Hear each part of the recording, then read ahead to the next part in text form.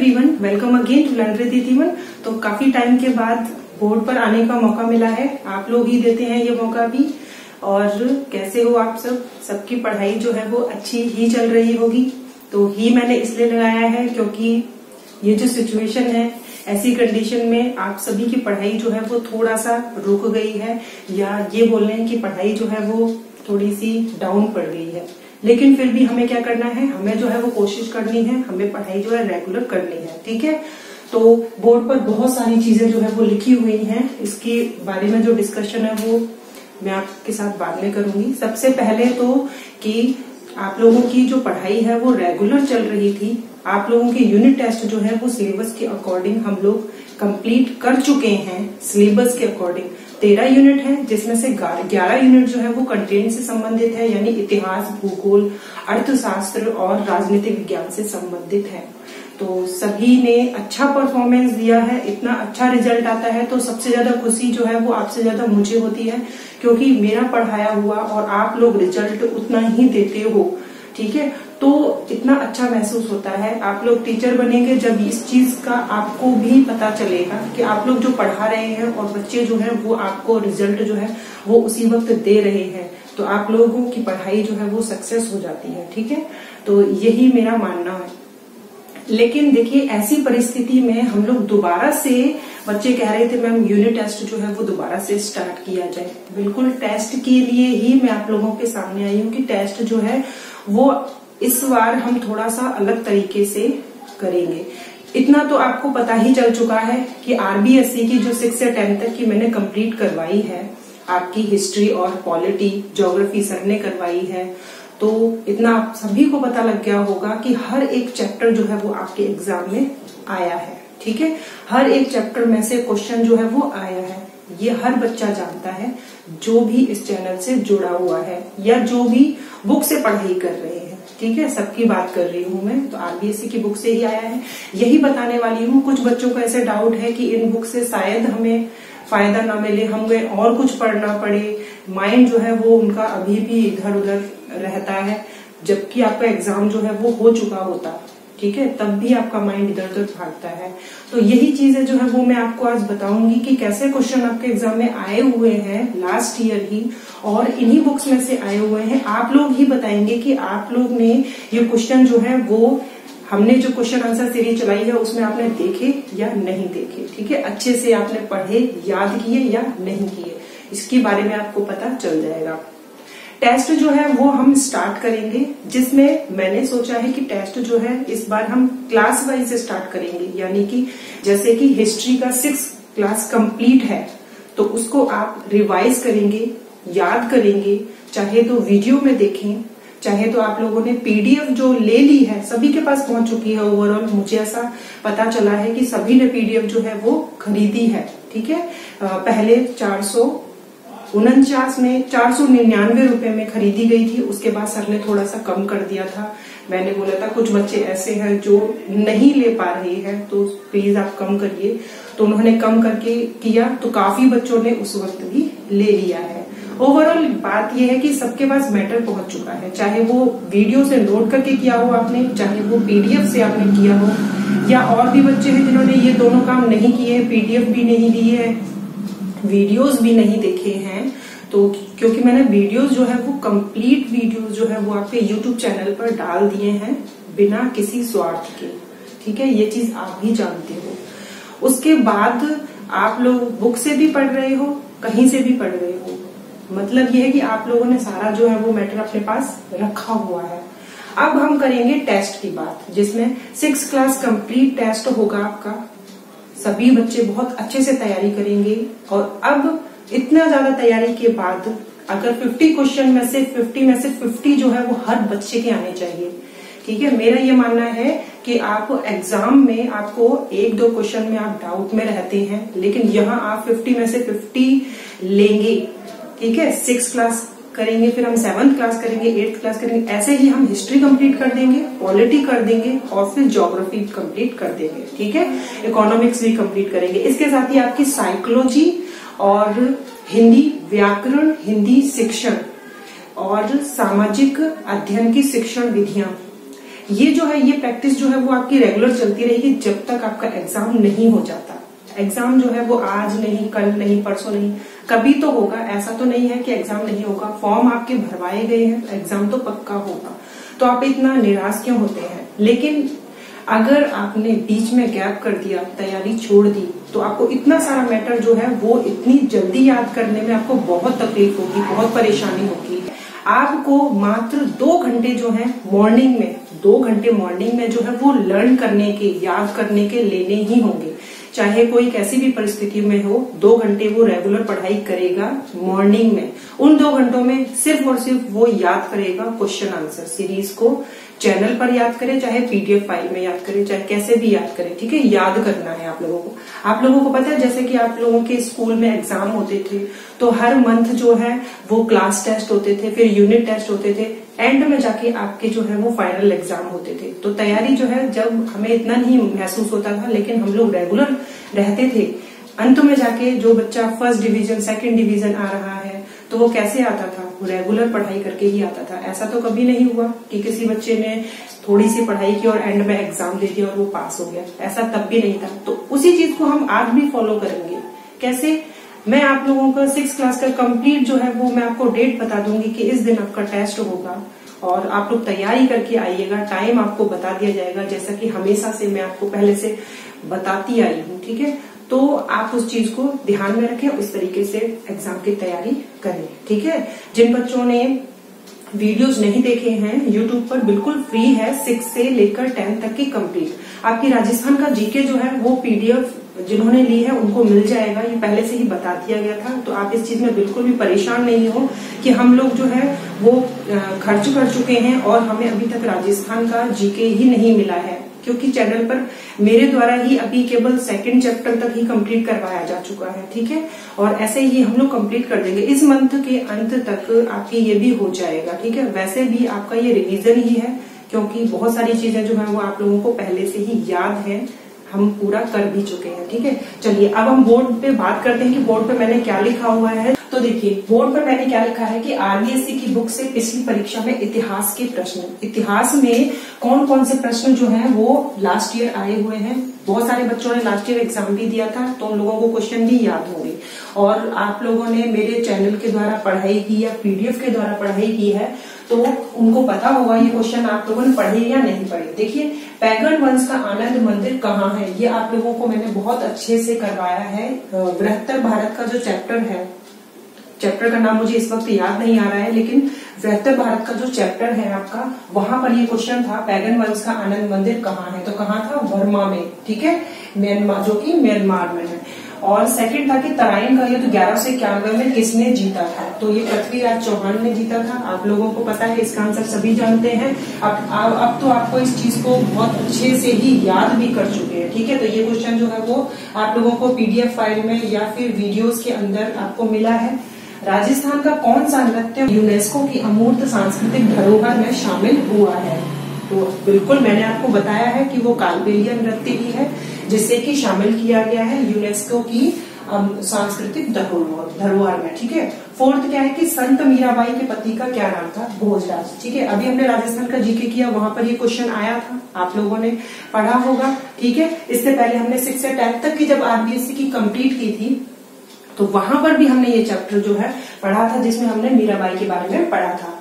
Fifth है कि चित्रकला शैली बणी ठणी संबंधित है। तो बताइए, आप लोगों ने क्वेश्चन पढ़ा था कि नहीं पढ़ा था? चित्रकला शैली बणी ठणी संबंधित है किससे? नागरी दास से। ठीक है? इतना ज़्यादा तैयारी जो है, वो कोई नहीं कराता है। सबसे पहले आपको सिक्स से टेंथ तक की कंप्लीट करवाई है मैंने आरबीएससी की। वो, उसके बाद मैंने राजस्थान के जीके की चैप्टर भी पढ़ाना स्टार्ट कर दिए हैं और उसके क्वेश्चन आंसर जो है, वो भी आपको मिल रहे हैं।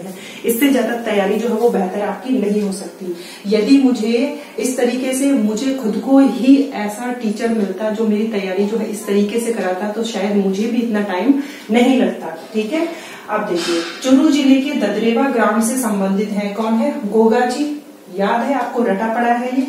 खेजड़ली आंदोलन में अपने जीवन का बलिदान किसने दिया? अमृता देवी ने। तो लास्ट ईयर जो पेपर है, उसी की बात कर रही हूँ। केवल इतिहास की इतने सारे क्वेश्चन इतिहास में ही आए थे। पुस्तक आनंद मठ में वंदे मातरम किसने लिखा था? बकरीम चंद चटर्जी ने। ये भी क्वेश्चन आपने पढ़ा है। ऐसा कोई क्वेश्चन नहीं है जो मैंने आपको नहीं कराया है। मैग्नेस्टीज किसका राजदूत था? सेल्यूकस का। कौन सा चंद्रगुप्त द्वितीय की राज्यसभा में एक नव रत्न नहीं था? तो वहाँ पर चार ऑप्शन थे, जिसमें फायान जो था, वह नवरत्न में शामिल नहीं था। ठीक है? चंद्रगुप्त विक्रमादित्य के में या चंद्रगुप्त सेकंड में। महाराणा प्रताप के हाथी का क्या नाम था? तो क्या था? राम प्रसाद। अब देखिए नेक्स्ट ये क्या है?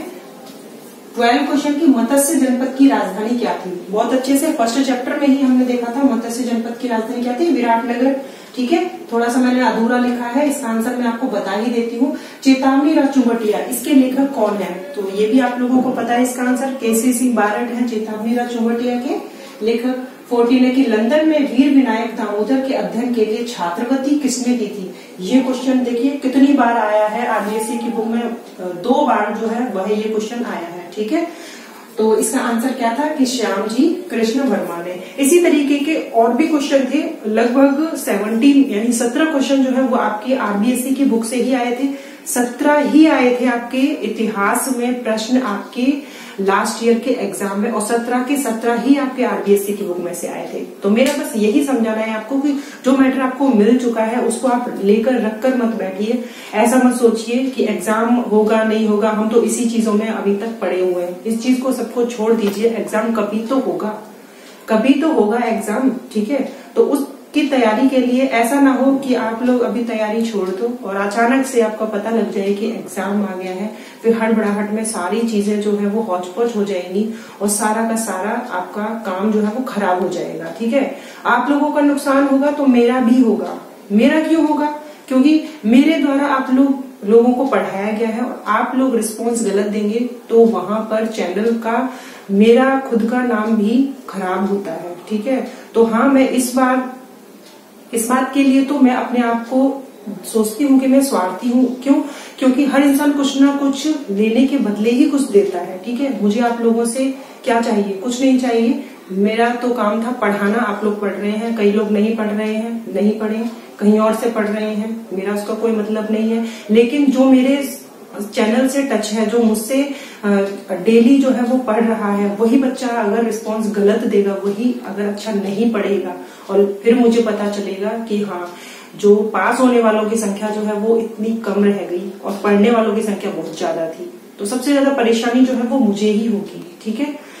तो मुझे भी तो कुछ ना कुछ आप लोगों से चाहिए, मुझे ये चाहिए कि हर बच्चा जो है, जो यहाँ हंड्रेड परसेंट दे रहा है तो वो एग्ज़ाम में भी दे। और वो कैसे देगा? रेगुलर रहकर। आप पढ़ने के बाद बीच में छोड़ दोगे कि सारा का सारा काम जो है वो खराब हो जाएगा, गड़बड़ हो जाएगी। तो आप ये देखिए, चौदह क्वेश्चन तो मैंने ही लिखे हैं, सत्रह क्वेश्चन जो है वो आपके इतिहास के आए हुए थे। इसी तरीके से भूगोल के भी आए हुए थे और पॉलिटी के भी आए हुए थे, ठीक है? पॉलिटी के जो है, वो आपको क्या करना होता है? मैटर जो है, वो समझना होता है। समझने के बाद क्वेश्चन जो है, वो किसी भी तरीके का पूछा जा सकता है। लेकिन फिर भी कुछ फैक्ट होते हैं, उनको तो आपको याद ही रखना होता है। अनुच्छेद जो होते हैं, वो उनको आपको याद ही रखना होता है। किस अनुच्छेद में क्या बात कही गई है? किसके लिए क्या योग्यताएँ हैं? ठीक है? पॉलिटी के अंदर आपको ये चीज़ करनी होती है। ठीक है? तो ये चीज़ मुझे आपको बतानी थी। अब सीधी सी बात करते हैं टाइम टेबल का। टाइम टेबल का क्या कि आप लोगों का टाइम टेबल क्या रहेगा, जिससे कि आप लोग पढ़ाई करते रहेंगे। चैनल पर जो भी वीडियोस हैं, वो लोग आप लोग रेगुलर देखेंगे आपकी इच्छा के अकॉर्डिंग आपको इच्छा है तो आप देख सकते हैं। प्रैक्टिस जो है वो चलती रहेगी। हिंदी शिक्षण की चलेगी, जैसे ही राजस्थान का जीके खत्म होता है, ठीक है? व्याकरण की भी चलेगी। सामाजिक शिक्षण के लास्ट ईयर के क्वेश्चन पेपर हम सॉल्व कर ही रहे हैं। साइकोलॉजी की आपके टेस्ट सीरीज़ चल ही रही है, ठीक है? तो इस तरीके से हम लोग तैयारी करेंगे। अब सूचना मुझे देनी थी आप लोगों को एसएसटी के इतिहास की। सबसे पहले इतिहास का टेस्ट होगा, जिसमें कंप्लीट सिक्स क्लास आप लोग तैयारी करेंगे। आप लोगों को डेट जो है वो बता दूँगी, ठीक है? सारे ही चैप्टर का टेस्ट होगा। कोई भी चैप्टर जो है वो आपको नहीं छोड़ना है, ठीक है? इतनी सारी तैयारी करने के बाद आप, अब आप लोगों के पास केवल रिवीजन ही है। रिवीजन ही करेंगे आप लोग। वीडियो से करिए पीडीएफ से करिए, कैसे भी करिए आप लोग। लेकिन तैयारी बहुत जम के करिए। आप लोग बहुत अच्छे से और फुल मोटिवेशन के साथ, जैसे ये क्वेश्चन जो है लास्ट ईयर की आप लोगों ने एक झटके में ही देख के सोचा कि ये सारे सारे हमें आते हैं। ऐसे ही आपके एग्ज़ाम में जैसे ही क्वेश्चन पेपर आएगा, आप सारे के सारे जैसे ही देखेंगे। सिक्सटी में से आपके फिफ्टी क्वेश्चन जो है पचास क्वेश्चन जो है, वो आपके इन मैटर से संबंधित होंगे तो आप फटाफट से उनको कर लेंगे, ठीक है? शिक्षण विधियों की बात ऐसी होती है कि जितनी प्रैक्टिस करेंगे, आप उन चीज़ों से इतना रूबरू होंगे और उन चीज़ों को समझ पाएँगे। जितना समझ का विकास होगा, उतना ही आप लोग शिक्षण विधियों में अपना हंड्रेड परसेंट दे पाएँगे, चाहे वो कोई भी शिक्षण विधियाँ हो, ठीक है? तकनीक जो है, वो सभी एक जैसी ही रहती है। शिक्षण विधियाँ जो है, वो चाहे हिंदी हो मैथ हो साइंस हो ना? सामाजिक अध्ययन हो कहीं भी हो, शिक्षण विधियाँ वही रहती हैं, ठीक है? बस उनको आप लोगों को सब्जेक्ट वाइज अप्लाई करना आना चाहिए। तो इस तरीके से आप लोग तैयारी करते रहिए फुल मोटिवेशन के साथ। मैं अपने आप को फुल मोटिवेट रखती हूँ, उसी तरीके से आप लोगों को भी रखना है। अब तक नहीं रखा है, अब तक दोबारा से आप दोबारा रिचार्ज हो जाइए। कोरोना को साइड में रखिए, सारी परिस्थितियों को साइड में रखिए। दुनिया है, ज़िंदगी है, चलती रहती है। और स्थितियाँ जो है वो बदल जाएँगी, ठीक है? आप या मैं जो है वो इन स्थितियों को कैसे बदल सकते हैं? खुद को ही पॉजिटिव रखकर। ठीक है? नेगेटिव चीज़ें होती हैं आमने सामने भी होती हैं, और जो हो रही है, उनको भी आप समझाओ कि नेगेटिविटी जो है, वो नुकसान ही पहुंचाती है, कभी फ़ायदा नहीं देती है। पॉजिटिव से कम से कम ये तो होगा कि हम लोग जो है, अपना माइंड जो है, वो सही रख सकते हैं। और आप लोगों के पास भी और कोई रास्ता नहीं है कि आप लोग पढ़ाई को छोड़कर जो है, वो सोचने बैठ जाए कि हाँ कोरोना का अब क्या होगा, अब कैसे होगा अब वैक्सीन जो है लगवा लिए, फिर भी क्यों ऐसी सिचुएशन हो रही है? तो इसमें मैं और आप तो कुछ कर ही नहीं सकते हैं। जब इतने बड़े बड़े डॉक्टर्स जो हैं, वो भी लगे हुए हैं, वो भी इतने परेशान हैं, हर कोई परेशान है। लेकिन फिर भी क्या करना है? ये चीज़ें चलती रहती हैं और आगे जो है, चीज़ें बदल जाएँगी। और जैसे ही सिचुएशन सही होती है ना, सारा कुछ सही हो जाएगा। आप लोग देखिएगा एग्ज़ाम भी होगा। अब ये बुक्स जो है, ऐसा नहीं है कि आप रीट का एग्ज़ाम दे रहे हैं तो रीट में ही आप लोग तैयारी करें। इकतीस हज़ार वैकेंसी में से इकतीस हज़ार ही लोग आएँगे। अब इतने साढ़े छह लाख बच्चों ने फॉर्म डाले हैं। कुछ बच्चे जो हैं, जो इन बच्चों, ये जो आरबीएससी की बुक पढ़ रहे हैं, क्या ये कहीं और काम नहीं आएगी? पटवार में आपके यही बुक एसआई में आपके यही बुक आरएएस में आपके यही बुक ठीक है? फ़र्स्ट ग्रेड सेकंड ग्रेड में कहा आपका जो टाइम जो है इसमें वेस्ट नहीं हो रहा है? आप लोग तो ये सोचिए कि आप लोग इतना अच्छा कर पा रहे हैं कि यदि आप किसी बच्चे ने और भी एग्ज़ाम के फॉर्म फिल किए हैं तो वहाँ उसको इसका हंड्रेड परसेंट फ़ायदा जो है वो मिलेगा। आज आप गांठ बाँध लीजिए इस चीज़ को, ठीक है? अंत में भी मैं यही कहूँगी कि बार बार ही मैं ये कहती हूँ, कम से कम सैकड़ों बार इस चीज़ को मैं कह चुकी हूँ कि सही मैटर पर पहुंचिए, सही चीज़ पर पहुंचिए और उस चीज़ को फॉलो करिए सिलेक्शन को पाने से कोई नहीं रोक सकता है, ठीक है? कोई भी नहीं रोक सकता है। मेहनत जिसने की है, उसको रिज़ल्ट उसका पक्का मिलेगा। कभी ऐसा नहीं होगा कि मेहनत का फल जो है वो खराब जाता है। टीचिंग लाइन में सेकंड ग्रेड का फ़र्स्ट ग्रेड का, वहाँ आपका फ़ायदा होगा। बुक्स तो यही पढ़नी पड़ेगी, तब भी आपको। आज पढ़नी पड़ेगी, कल पढ़नी पड़ेगी, पढ़नी आपको ही है, ठीक है? मैंने तो पढ़ ली और अब आपको ही पढ़नी है। तो इसी तरीके से फुल मोटिवेशन के साथ आप लोगों को मेरा साथ देना है, मैं आपका साथ दूँगी और इसी तरीके से टेस्ट की तैयारी करते रहेंगे। मिलते हैं नेक्स्ट वीडियो में। Thank you